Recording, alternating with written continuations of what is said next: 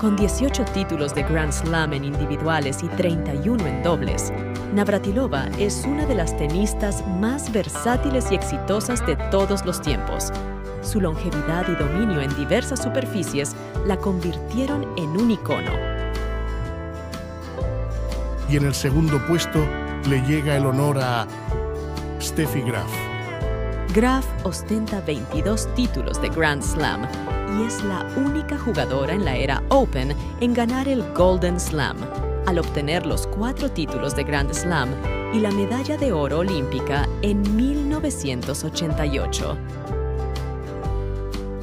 Y, según la inteligencia artificial, la mejor tenista de la historia es Serena Williams.